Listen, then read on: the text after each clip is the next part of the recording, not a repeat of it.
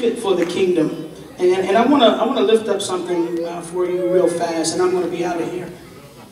Uh, it's in the book of First Kings. Let me give you just a little bit of text, uh, and, and I'll be out of your way. I promise I'm not going to hit anybody with these belts. I'm going to actually show you something. Uh, I want to look at 1 Kings 19, and I want to just pull up just two, two pieces of, of scripture while we're there 19 uh, and 19. So he departed from there. Everybody say he departed. And found Elisha, the son of Shaphat, who was plowing with 12 yoke of oxen before him, and he was the 12th. Then Elijah passed by him and threw his mantle on him. And he left the oxen and ran after Elijah and said, Please let me kiss my mother and my father, and then I will follow you. And he said to him, Go back again, for what have I done to you? So Elisha turned back from him, and he took a yoke of oxen and slaughtered them, and boiled their flesh using the oxen's equipment, and gave it to the people, and they ate. Then he arose and followed Elijah and became his servant. I want to talk for just a brief minute about being fit for the kingdom. Everybody say fit. I don't want to talk about being fit for the kingdom. I want to talk about finding your fit. Can, can we talk for just a, I'm, I'm not going to be long, Pastor Cross is coming. Uh, but but I'm, I'm going to talk about finding your fit because the reality is we have a structure in place that uh, feels like maybe you don't fit that structure because we have cookie cutter, carbon copy, uh, a lot of different things that we have really uh, in our mind, we have a picture of what it's supposed to look like. And so since if you don't fit that mold, you don't really fit in. Can you say amen? But it's hard to fit in when you've been called to fit out. It's, it's, it's hard to fit the mold when there was not a mold made for you. It's, I'm gonna talk to y'all since y'all in the middle right here. It's hard to fit in when you uh, when you're creative and everybody around you is comfortable with the mundane. And I want you to look at somebody tonight by the name of Elisha. Everybody say Elisha. Now I'm not stepping on my wife, but she said this is the Joshua generation. I believe this is the Elisha generation. Because Elisha follows Elijah after Elijah has completed all of his miracles. When you read the text, you find out Elijah has he's doing no more miracles, and it gives me the picture, Pastor, that you have to be careful that people are not following you because of what you can do for them. People who really submit to you will submit to you if you cannot help them or not, but they'll submit based upon what God has told them to do. Can you high five your neighbor and tell them, will you stay where God planted you, even if business? you?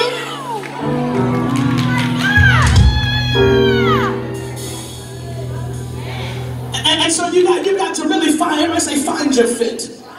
And so Elijah has completed, I'm getting close. Elijah has completed all of his miracles, Q. He's not doing any more miracles. And Elisha serves him based upon what he did in the past. And he serves him to a point to where he refuses to leave him even after Elijah has said, I'm going to leave you right here. You can't go any further with me. Elisha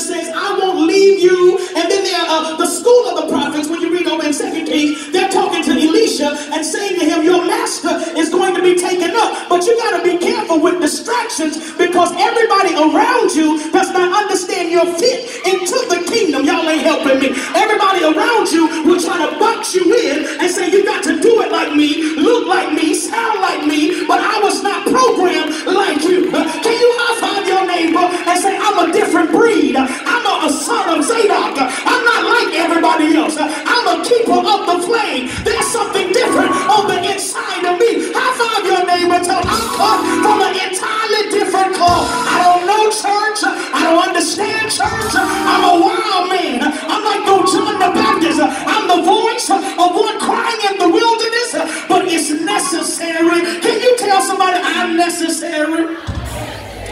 So let's do this real fast, Pastor Cross. We go. I, I, got two minutes and I'm out of here. I, I gotta find my fit. But the problem with church, we're talking for a minute, I'm in my zone. The problem with church is we're good at boxing people in. But boxes were never created for people, they were created for packages. Uh, you missed me, I'll say it again. Boxes were never created for people, they were created for packages. So I don't have to fit your religious mold. I don't have to fit your religious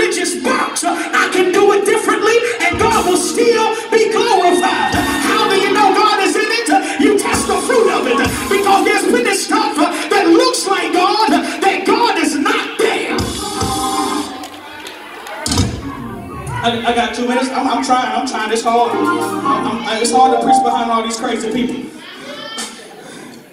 And so Elijah, everybody say Elijah.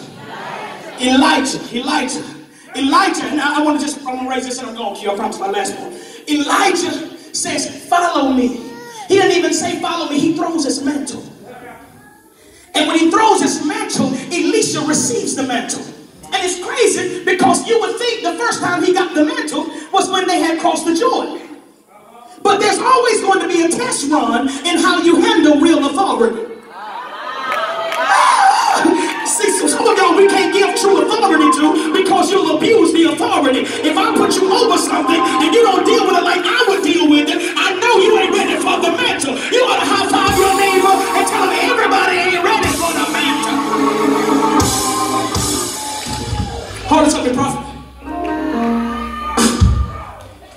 Hold it tight. Hold it. Because I want you to see this is two different generations. This is two different generations. Can you see it? They're two different belts. One is bigger than the other one. One has two holes, one has one hole. But they're tied together. Meaning that if we're going to be effective, then the millennial generation has to be tied to the previous generation. Because true power never comes from something outside of something. It comes from something that has been empowered by something. Who hands on you? Can I preach like I feel it? It's too many folks uh, who are running around here with titles uh, that God has not told anything. God has not put his hands on you. You don't have no fruit. Uh, you ought to high five your neighbor and say, he talking to you. If you sitting there looking crazy, hold the belt, brother. I'm coming. He's plowing. And the previous prophet comes by and he says, Come, throws the mantle, and he connects with him. And he connects with him in such a way. Come here, come here, come here, Trey. He connects with him in such a way. Come over here. He connects with him in such a way. Pull that tight. Pull it tight. I need I, somebody need to be as strong as Earl.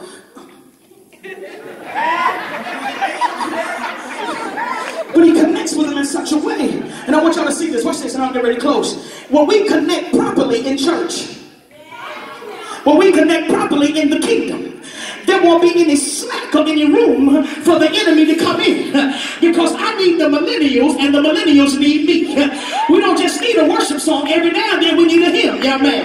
I need to be able to celebrate where I come from to understand where I'm going. I need to be able to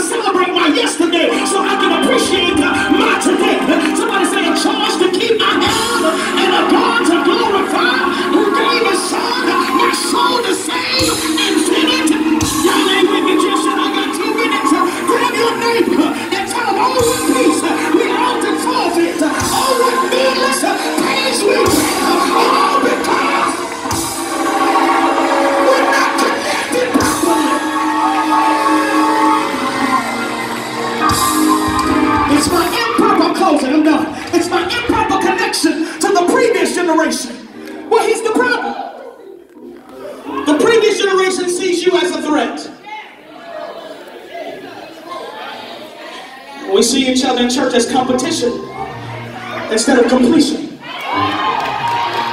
Oh, I'm coming, I'm, I'm out here. When I understand if you are raised up, my job is over. And that ain't a bad thing. I'm trying to retire. Y'all ain't saying amen. But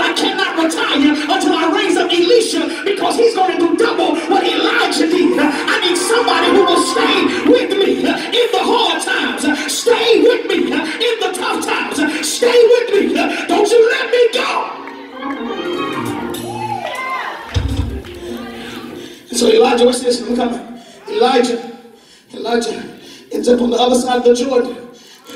And he ends up being taken up in a whirlwind. And it looks like there is a missing connection. You can let go, Elijah. But now the mantle falls solely. You missed it. This is prophetic. You already missed it.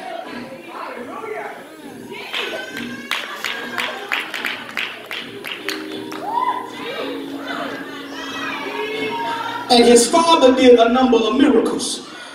But because he submitted properly, y'all mad now. Because he stayed submitted. When everybody said